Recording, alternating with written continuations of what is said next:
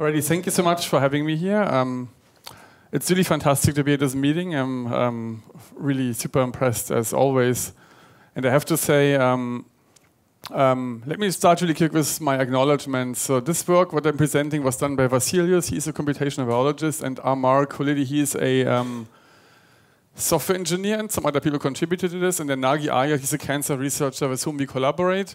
And then um, we have funding from the NIH, and but I want to thank really Chemaxon, you know, for we use a lot of your tools in, in the lab, and some of those um, um, in our tools, and um, it really appears to me like you know Chemaxon is one of the bright stars out there, you know, in the companies um, that really enable research. Um, in particular, I can say this from from an academic perspective.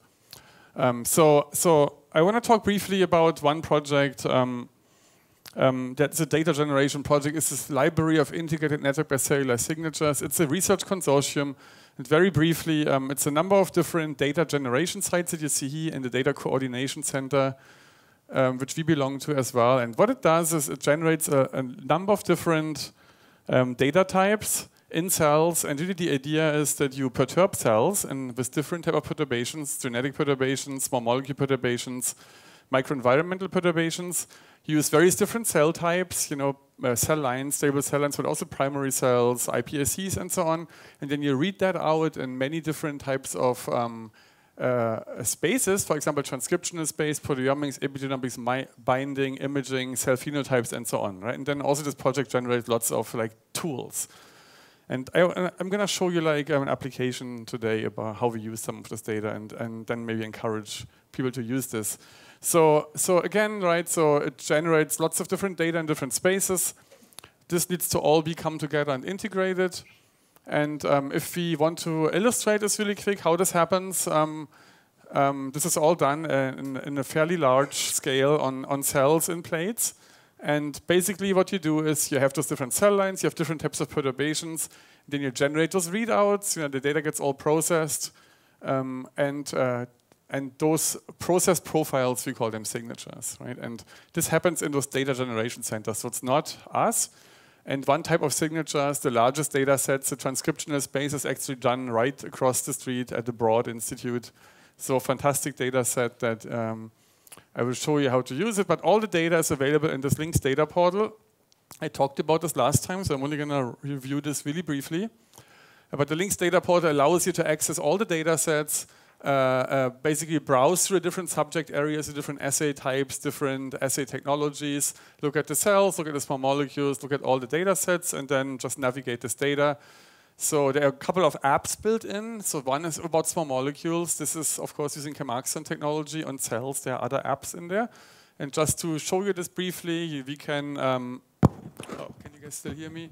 Okay, we can um, uh, look at those, and we can look at the data set, for example dataset page, and then we can we can um, go through this and look at uh, look at all kinds of like um, descriptions here of this data, like IDs, dataset name, who generated the data, what's the data source, what's the data processing pipeline, and so on. A brief description and so on. We can also cite the data, having a having a reasonable uh, dataset citation, which is important.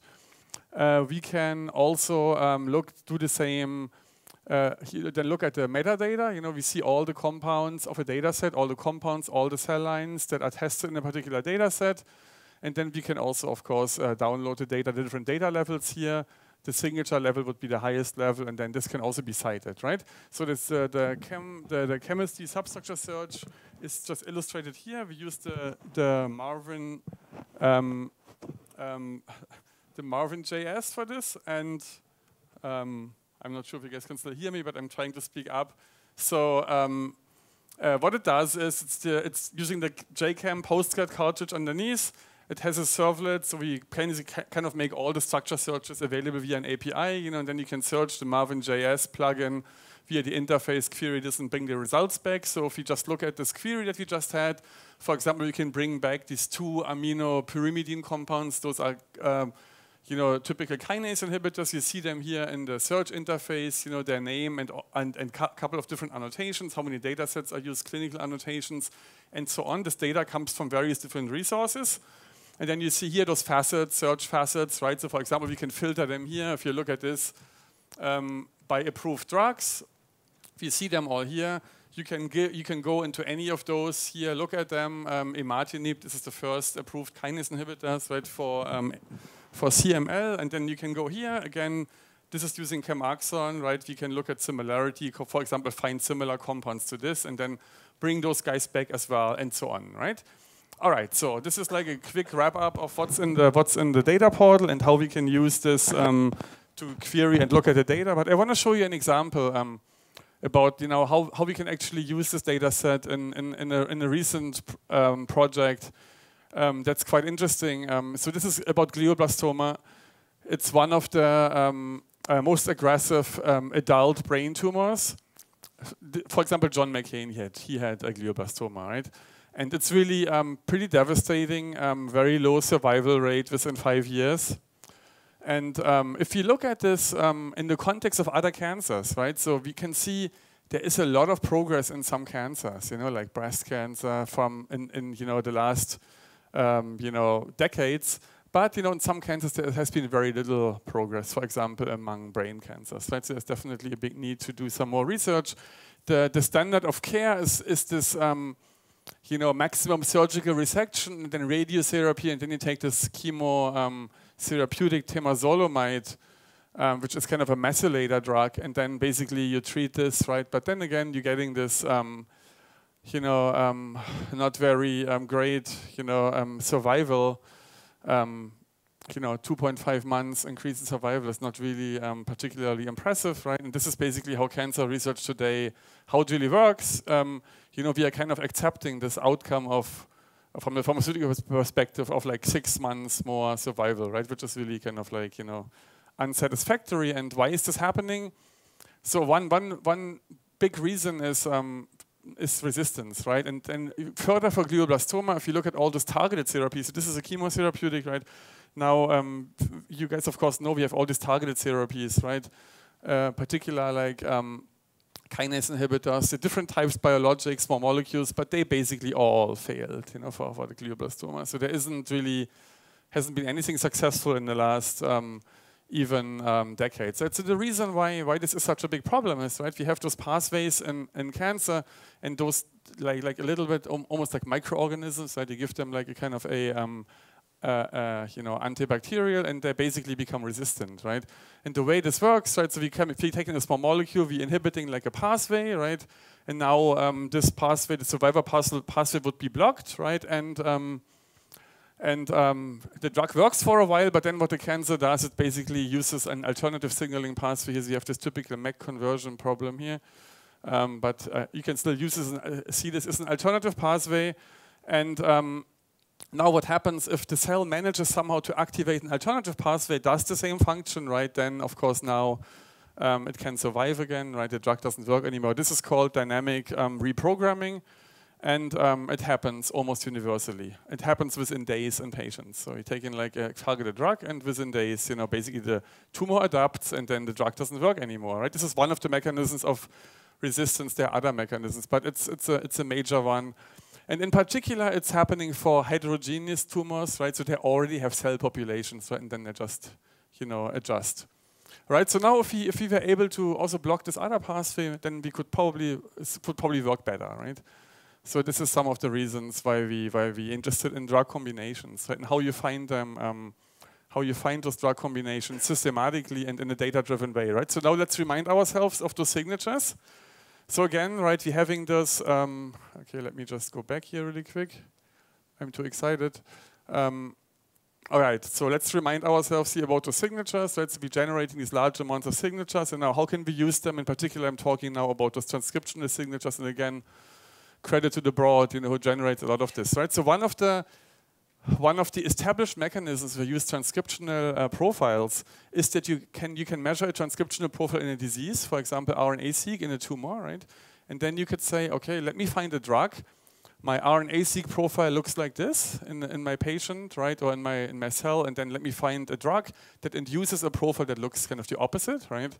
There are many different ways to do this, and then this is a, an, an established way called the connectivity map to uh, find drugs that have a potential to reverse this disease signature, right? So Um, now, this is there are many different papers that I'm not going to mentioning here, but they actually do this um, successfully. It's an established method, right? So now, um, like I mentioned to you, um, this still has this problem of reprogramming, right? So now maybe we can exploit this, and we can find two drugs that kind of reverse the profile even in a better way, right? And more importantly, those two drugs would also have a have a, a orthogonal transcriptional profile because then they would be more likely to be in a different pathway, right? So this is kind of the approach here, um, kind of simplistically speaking. Right now the data, like I mentioned, the perturbation data for drugs comes from this LINCS data set, the transcriptional perturbation response signatures, and the disease data comes from the TCGA, the cancer, the cancer uh, genome atlas, and that is um, uh, also a huge public resource that has basically cancer transcriptional profiles from patients in all kinds of tissues.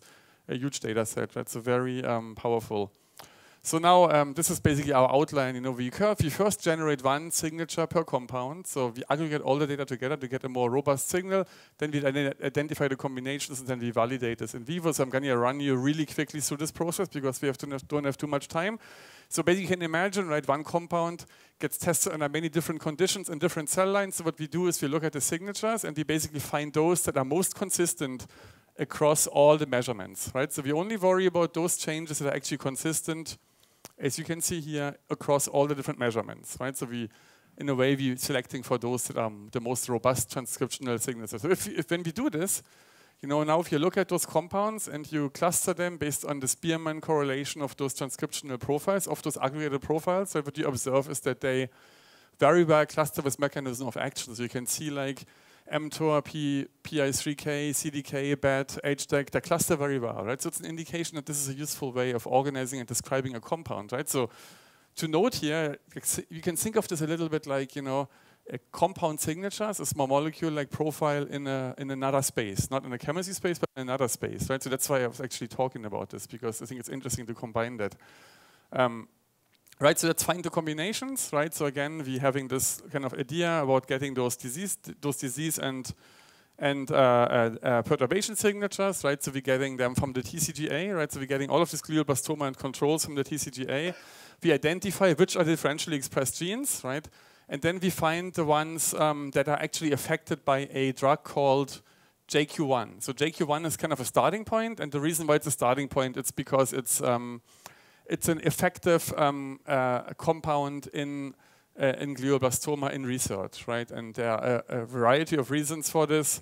So it's uh, basically it's a bromodomain uh, reader compound, so it prevents the uh, transcription the transcription of um, of genes by preventing the the um, uh, basically the, the translation, the, the readout of the of the RNA in translating this, right? So um, it's, it's, a very popular compound now used in many different uh, cancers, uh, breast cancer, colorectal cancer, leukemia, ovarian cancer, and also with col our collaborator Nagi Ayad in, in glioblastoma. So we use this compound as a reference compound. So we're trying now to find the best, um, you know, compound combination. So we, we look for those genes, again using those signatures, right, that are affected by this compound among those that are differentially expressed in glioblastoma, right? So now uh, we're looking for the remaining ones, you know, and we're looking which compound now affects those remaining genes, right, that are not affected by our reference compounds, so JQ1 in this case, right? So, and then we, um, if we do this, right, we can, we can score this, um, those compounds on um, two axes, you know, one is basically the ratio of genes that affect the drug, so the one that are, how similar is my gene expression profile of my, of my compounds compared to JQ1, and you see if you look at this cluster here, those are all also BRD4 inhibitors, right? So it makes sense. You know, they have a similar kind of gene expression signals. They're similar in their genes, so they're also inhibiting JQ1. This other axis is my kind of orthogonality, like kind of to the to the disease in a way. So it's it's the it's the ratio of the genes that that kind of the drug affects among the uh, that are different from JQ1, right? So now we're looking at those, and if you look at those compounds here, we have this um, JS, GSK compound that scores very high that's an Aurora um, BC kinase inhibitor. Um, here you have this, this, this, link from the LINCS data portal here.